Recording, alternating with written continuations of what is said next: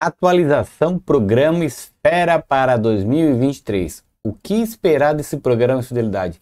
Será que ele vai ser melhor que a Livelo? Será que vai ter várias promoções? Fique comigo nesse vídeo que eu vou fazer um guia completo para você começar 2023 de pé direito.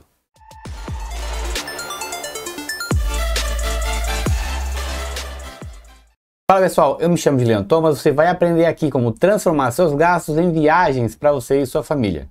Hoje a gente vai fazer uma atualização do programa Esfera, esse programa que bateu de frente com a Livelo, teve várias promoções em 2022 e o que esperar para 2023. Vou fazer um guia completo para você começar de pé direito. Antes de mais nada, se é a primeira vez aqui, já se inscreve no canal e assine o sininho para o YouTube entender que é relevante mostrar para mais pessoas esse conhecimento que é valioso. Já deixa aqui nos comentários se você participou de alguma promoção de compra de pontos e compra bonificadas no programa Esfera em 2022. O que a gente vai aprender hoje? É um guia completo para você começar direito 2023. As formas de acumular pontos dentro do programa Esfera, seu programa de fidelidade, como é que as formas de transferência e qual companhia aérea e o que esperar para 2023. Será que vai ter várias promoções como teve esse ano? Será que vai ser melhor do que 2022? Primeira pergunta que bastante gente faz: como é que faz para participar do programa Esfera? Tem que ser só correntista do Santander? Tem que ter o cartão elegível? Como é que está funcionando agora? Então, primeiro a gente vai falar o que é o programa Esfera. O programa Esfera é um programa de fidelidade de banco, especificamente do Banco Santander. Como a Livela é do Banco do Brasil, Banco do Bradesco, o Esfera é do Santander, somente do Santander. Alguns meses atrás, esse programa era restrito somente para quem era correntista do Santander. E tinha mais um empecilho que tinha que ter o cartão de crédito elegível para fazer a transferência de pontos esfera para milhas das companhias aéreas. E aí, começo do ano passado, o programa Esfera tirou essa exigência de ter um cartão elegível, mas mesmo assim ficou somente com os correntistas do Santander. E lá para setembro, ele abriu para todas as pessoas, não importa se seja correntista ou não. Mas, claro, lembrando que somente o cartão do Santander pontua no programa Esfera. Mas você pode participar, pode assinar o clube, pode comprar pontos sem ser correntista. Isso que era um empecilho alguns meses atrás. Então, diante disso, vem a primeira pergunta que bastante gente faz: como participar do programa Esfera? Agora é bem simples. Só vai lá no site do Esfera, é esfera.vc, tá, né? .com.br, VC. Esse site aqui, ó. Quem já era correntista antigo do Santander, ou quem já recebeu salário, era funcionário e recebeu o salário ali, com certeza você já tem uma conta do Esfera. Só reativa ela ou recupera a senha. Quem nunca teve nenhum relacionamento com o Banco Santander, você vai lá e cria sua conta, sem custo algum, beleza? Para criar conta não tem custo. E quem é correntista, automaticamente já pode participar do programa Esfera. Então a gente já matou a primeira dúvida que bastante gente tem. Agora, como acumular pontos no programa Esfera? Basicamente são três formas, tá? Eu tenho várias formas, mas basicamente são três para você entender. Um é tendo cartão do Santander, que pontua no Esfera.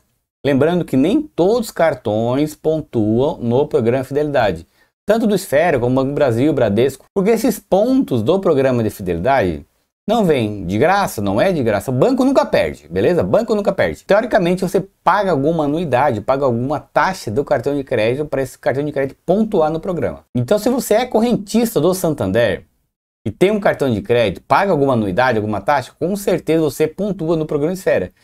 E se você nunca utilizou, com certeza teve bastante ponto inspirado ali dentro. What? Como eu falei, recupera sua senha se já nunca utilizou, ou faz um cadastro e verifica lá que com certeza você tem pontos lá dentro. Já deixa aqui nos comentários que você tinha pontos do programa Esfera. É, tá bom. Segunda forma é comprar pontos do programa Esfera. Esse ano de 22 teve bastante bastante promoção de compra de pontos. Se não me falha a memória, teve 8 a 10 promoções de compra de pontos com 50% de desconto. Diferentemente que a Livelo, que tem que ser pelo menos um ano clube, no Esfera, esse ano desbancou a Livelo, porque o Esfera nem precisava ser clube. Algumas promoções sim, outras não, mas a maioria tinha que ser assinava o clube na hora para ganhar os 50% de desconto para comprar pontos. Então era muito mais vantajoso do que a Livelo. A Livelo, que a gente fala, tem que ficar pelo menos um ano ela dá essas promoções 50% de desconto para compra de pontos depois de um ano. Já o Esfera era só assinar o clube, assinava mais básico já tinha já era apto a aplicar o cupom. Então comprar pontos é uma forma bem potente para acumular pontos do Fire. Dali você pode mandar para as companhias aéreas, que eu vou mostrar ainda quais são. E a terceira forma que também é bem poderosa é as compras bonificadas. Mesma mecânica da Livelo. Dentro do Esfera você pode comprar com lojas parceiras, Magazine Luiza, Casas Bahia, Ponto Frio, várias Teve Nespresso, teve bastante, teve promoção de compra de cafeteira a 20 para 1, a cafeteira saía de graça praticamente. Então você compra em lojas parceiras e recebe essa bonificação, mesma mecânica da Livelo. E dali os pontos caíram, você manda para a companhia aérea. Então basicamente essas três formas, cartão de crédito, compra de pontos, compra bonificadas. Ah, existem mais, mas eu só falo essas três principais. Então você não precisa ter correntista e você pode participar dessas promoções. Uma dúvida bem frequente também, Clube Esfera. Assino ou não assino? Vamos aqui para o site para mostrar para você como é que é esse Clube Esfera. Então, pessoal, já estou aqui no site Clube Esfera. Você vem aqui. Deixa eu só entrar na minha conta aqui. Então, já estou na minha conta aqui, tá? Clube Esfera. A gente vai aqui no Clube Esfera e vai verificar, são três planos basicamente, tá? Quatro planos agora. É o clube básico, que ganha 200 pontos. O próximo clube, que é mil pontos. 5 mil pontos e 20 mil pontos. Então a gente percebe que esses 200 pontos por mês é o clube mais básico, R$ 29,90, e a gente vai receber 200 pontos. Aqui já no clube 1000, que é comparado ao clube básico da Livelo, a gente paga R$ 61,90 e recebe mil pontos. Você verifica que o valor é mais elevado que a Livelo. A Livelo é R$ 41,90 e recebe mil pontos Livelo.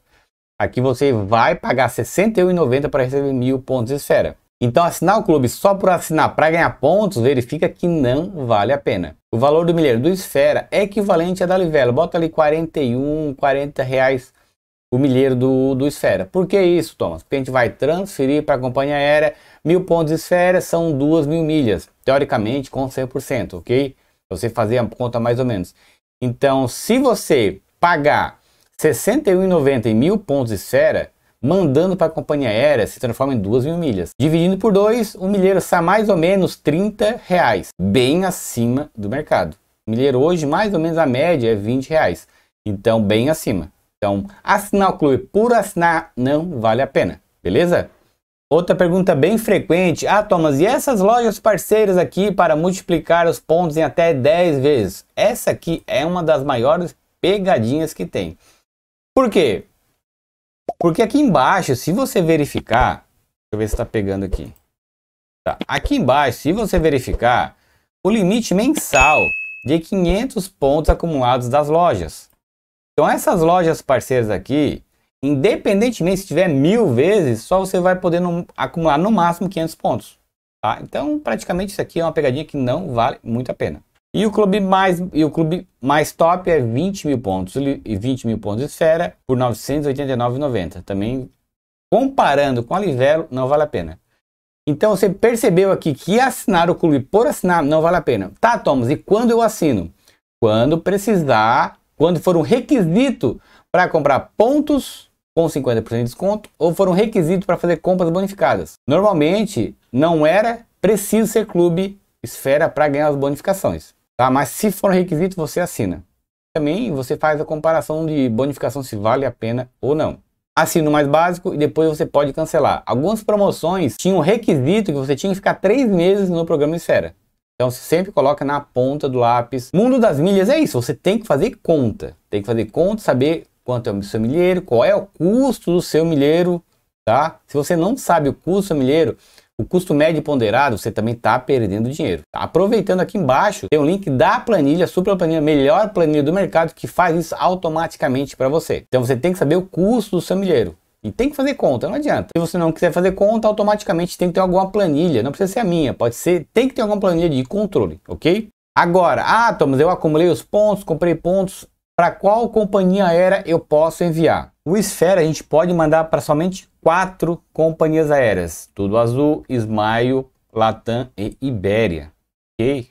E lembrando o requisito mínimo para azul, Smile e Latam são 30 mil pontos, já para Ibéria é 15 mil pontos. Azul, Smile e Latam é um para um, tá? Mas nunca vai mandar um para um, então sempre espere uma transferência bonificada. Já a Ibéria, a Ibéria tem um deságio de 2 para 1. 2 pontos Esfera para 1 ponto Ibéria. Ah, Thomas, mas não vale a pena 2 para 1, vou perder. Aí tem um pulo do gato.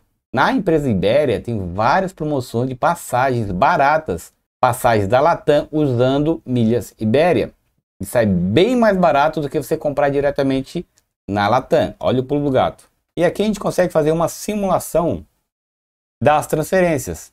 Uma coisa legal que a transferência padrão, que é em 3 dias, e Express, 750. Se você é clube Esfera, você não paga essa transferência Express. Sai, vai cair na hora. A taxa de transferência Express grátis para assinantes Clube Esfera. Tá, Thomas, eu entendi bastante coisa. E agora as oportunidades. Será que vale a pena participar de alguma promoção do Esfera? Vou deixar a Livela de lado? Não, calma. O programa Esfera ele está crescendo cada vez mais. E eu creio que a tendência para 2023 ser mais agressivo do que 22. Isso é bom porque a Livelo está cômoda lá na frente, disparada, melhor programa Fidelidade. E o Esfera está vindo atrás. Teve bastante promoção de compra de pontos. Por causa do Esfera, a Smile baixou bastante o milheiro. Teve bastante promoção de compra de pontos, já transferi com 100% para a Smile. Em 5 minutos você conseguia ganhar pelo menos mil reais.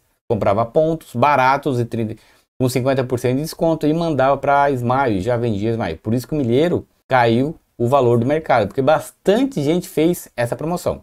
O que, que eu acho disso tudo? O programa Esfera é um backup. Se você quer participar bastante dele, beleza. Mas não exclua o programa Livelo. Participe dos dois. O programa Esfera é bom que você não precisa ficar pagando o clube. Só paga se utilizar alguma estratégia. Comprar pontos, comprar transfer bonificada, mas sempre utilize ele. Um programa não exclui o outro. A Livelo não exclui Esfera. O Esfera não exclui o Livelo. Então participe dos dois. Ok? Mas a Livelo ainda é o principal programa. Continua em Livelo e continua no Esfera. Quem é correntista do Santander, verifique seus pontos lá dentro. Com certeza tem pontos que estão inspirados, você nem sabe. Ou se você utiliza bastante cartão de crédito, tem bastante ponto lá e ponto é dinheiro. Pontos, milhas são dinheiro. Se você não sabe realmente o valor disso, você está perdendo dinheiro. Se esse conteúdo foi valioso para você, se não é inscrito, se inscreve agora e assina o sininho e já mande para mais pessoas que a pessoa é correntista do Santander e não sabe nada sobre esses pontos aí, com certeza é dinheiro que está na mesa e está perdendo dinheiro. Aqui nesse canal você vai aprender como transformar seus gastos em viagens para você e sua família, sem enrolação, sem querer enganar ninguém. Antes de ir embora, já deixa aqui nos comentários o que você acha que vai acontecer em 2023 para esse programa de fidelidade. Ficamos por aqui e até o próximo vídeo.